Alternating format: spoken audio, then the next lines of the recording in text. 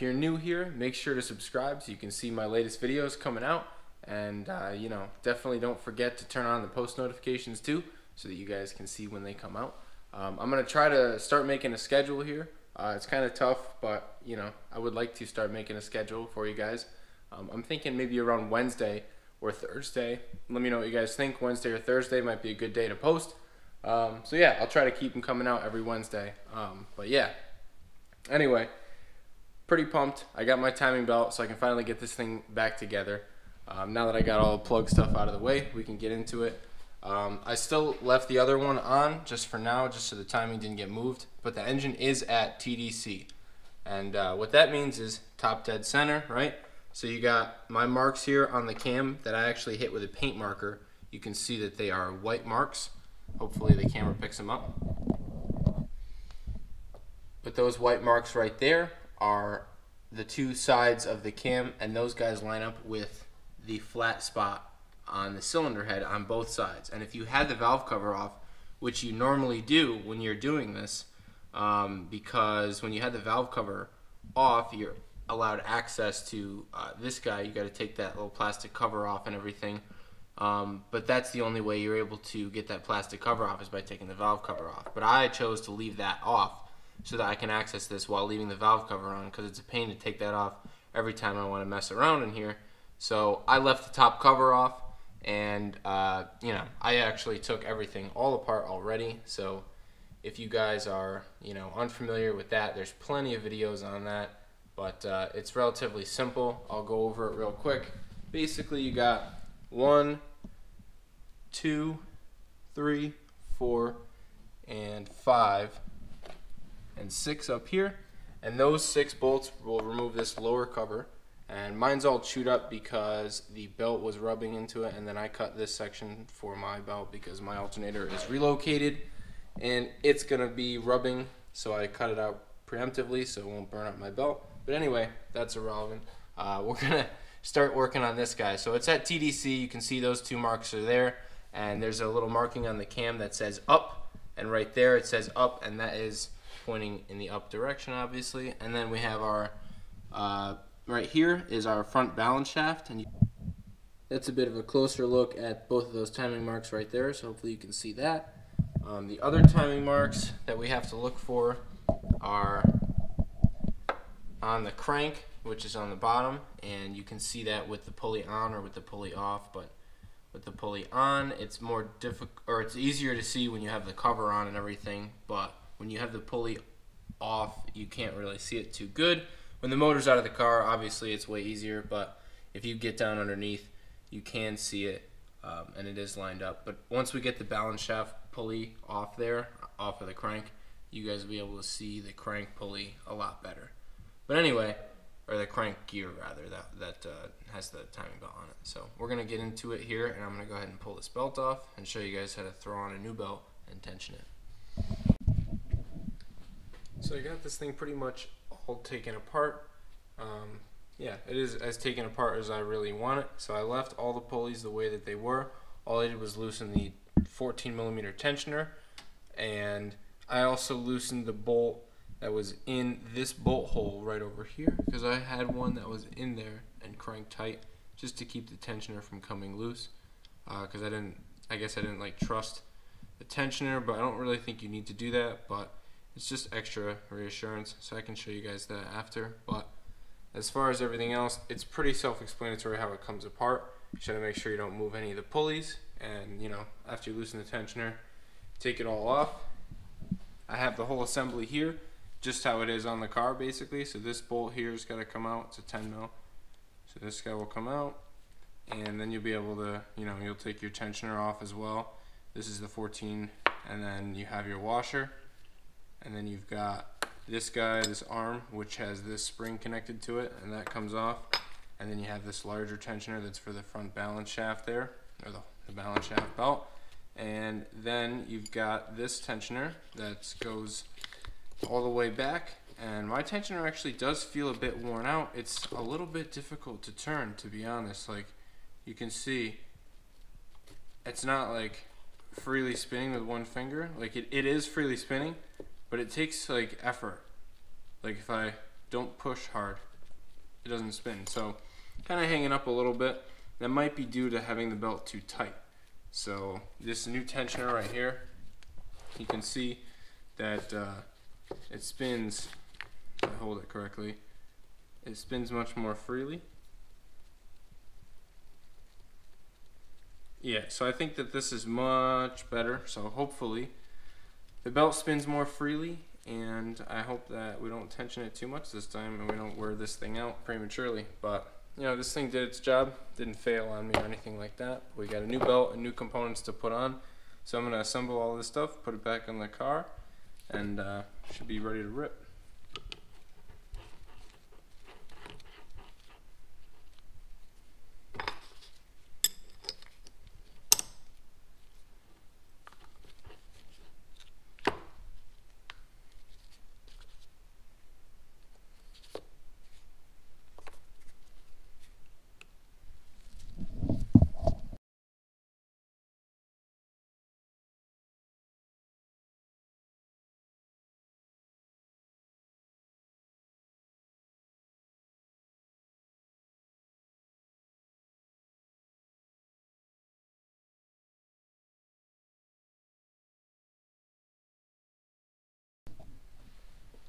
Alright guys, so it's been a while since I did the timing belt on this thing and I had forgotten, but the main takeaway is you got a pin over here that you have to put from there's it's on the block side and it goes in from the back into this pulley when you put it on or else the hole will only line up down here and it seems like you know what's going on but it's that guy so the pin's got to be in.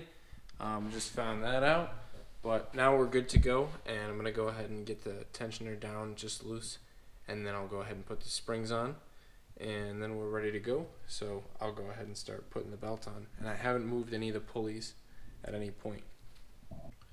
So you want to make sure you got the tensioner loose enough so that you can actually move the uh, tensioners here. So this guy the 14 is pretty loose you can see. And that means these guys function properly so you can see it it moves when I push down on it and the spring pulls it back all the way. Kind of snaps back and same with this one over here. And these springs are actually pretty good. They feel like they're uh, pretty strong. So I think these springs should be enough to tension the belt properly. So we're going to go ahead and try it. I'm to go ahead and throw the lower belt on. So I got the belts on it's not really something that you can easily do while holding a camera, so I figured I would just get it on and then tell you guys about my process afterwards. Um, this guy stays in place for the most part, the front balance shaft. The rear balance shaft likes to move, and that guy is only in time once every three revolutions. So you got to make sure you don't mess that up unless you have the specific tool, or what I like to use is a door hinge pin and like anybody has a door hinge pin, just go take one from one of your doors in your house or something, and you can put it back when you're done. But use a door hinge pin, and there's a 12 millimeter on the back of the block that you pull out just to the right of the freeze plug back there. I won't be able to show you, but where that axle is right here, it's uh, right above the axle on the back of the block, and it's an access hole. And if you remove that 12, you can stick that door hinge pin in there and then when you turn this thing, if the door hinge pin goes in all the way and locks and doesn't let you turn it either way, hardly at all, and it's in time, which in time for this little guy down here. See if I can get some light. That's a negative on the light.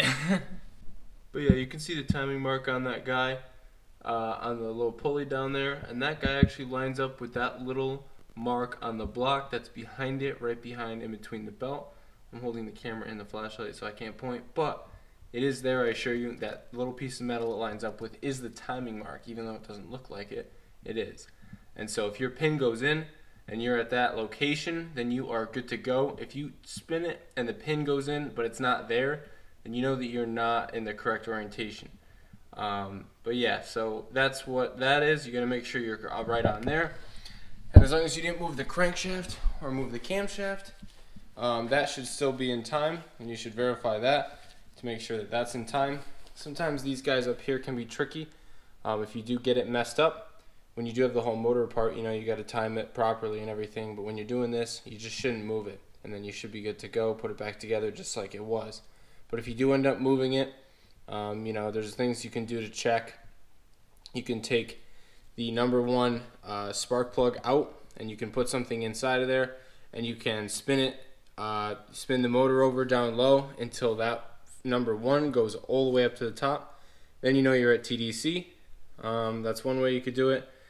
The cam, uh, you know, obviously those two lines just have to be lined up with the uh, cylinder head, and then you're good to go. So hopefully this new belt works out for us. I'm going to go ahead and tension this thing now, and uh, I'll explain how I ended up doing my tensioning process after. As far as the uh, the belt, getting it on, the balance shaft belt can be kind of tricky. What I ended up doing was um, I loosened the tensioner all the way and then tightened the 14 a little bit so I had all the slack and then I took it and I put it on this balance shaft first and lined that up because that one kept trying to go off time on me. So I put it on that one um, because you can't really get it on after because there's kind of a flange here. And then I put it on the other one, which I had the door pin in, which locks that one from moving, the rear balance shaft. And then I was actually able to sort of pry it down and slide that rear uh, gear over it and uh, make sure that it was lined up and I didn't move either of my marks here. So now that we got all that done, we're going to go ahead and tension it and then I'll show you guys what I did for that. Alright guys, so the key here, key here with the tensioning is a little bit of extra pressure. Just a little bit of extra pressure. That's all you're going to need. And uh, yeah, just got to make sure you stayed on that pin there like I did, just making sure um, just because you know things look a little crooked for me. Um, the tensioner looks a little cockeyed, but I did spin the motor over quite a few times and the belt did not come off, so I think we're going to be good to go. Um, everything also stayed in time, so I'm happy about that. Tensioner's tight. I went ahead and threw the crank pulley back on, tightened it down, and uh, then I went ahead and spun the motor over to the left. Uh, you know, you always want to go the direction the motor spins, which is counterclockwise. I Also took all the plugs out to make it easier to spin over, which did help out a lot. And here's all the plugs. They're, they're getting pretty nasty. I might replace them pretty soon. They might be okay for the meantime, but uh, you know, definitely gonna get some new ones in there. And uh, for any of you guys wondering, I run uh, NGK uh, BKR 7Es, which are one heat range colder than stock. So I think uh, from stock they're they're eights, so we went to a seven. Um, or the other way around. Yeah, I think it's the other way around. I think stock there is six. We went to a seven.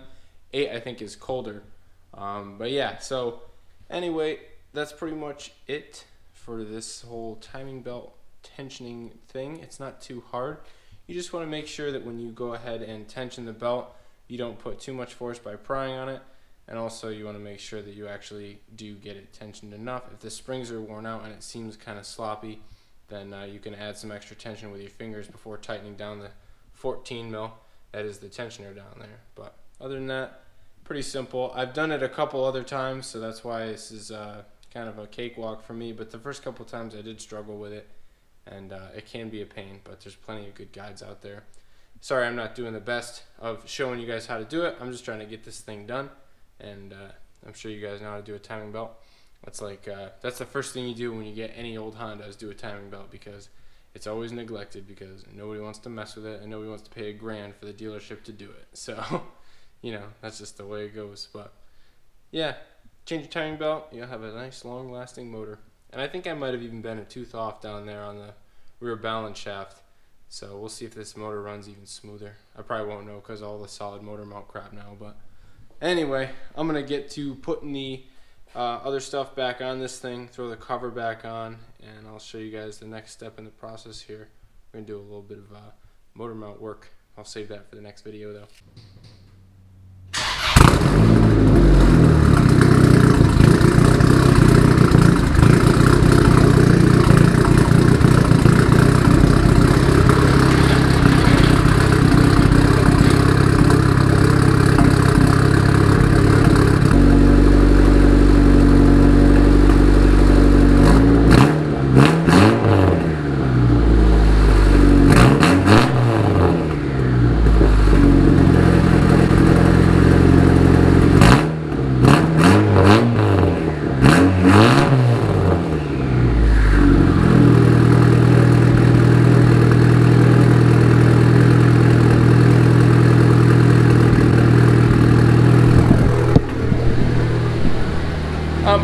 Guys. I'm not gonna let it run too much longer so I don't die in my garage, but freaking thing, it's so quiet up here. It means there's no exhaust leaks, which is super awesome. This thing's not gonna be that loud up front. I'm freaking pumped. Um, I don't see any condensation coming out up here. This car's still super cold. Not gonna bother letting it fully warm up, but uh, yeah, it seems like everything's running really awesome. Uh, timing's definitely right on. Car's running like a champ, so super pumped. Alternator seems like it's charging, it's spinning great, no issues there. So guys, we are ready to go. I'm so stoked, so pumped, so happy. This thing sounds so awesome. I mean, how can you not like that?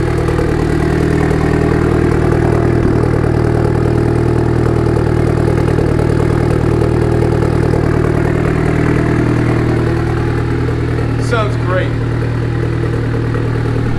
Yeah, hopefully you enjoyed this video. If you guys want to see this thing rip and see it turned up, because we're definitely going to turn this thing up now. I'm super hyped. This straight pipe definitely has me pumped. So I'm going to go turn this thing off. But thanks for watching, guys. Remember to subscribe, like the video, and stay tuned.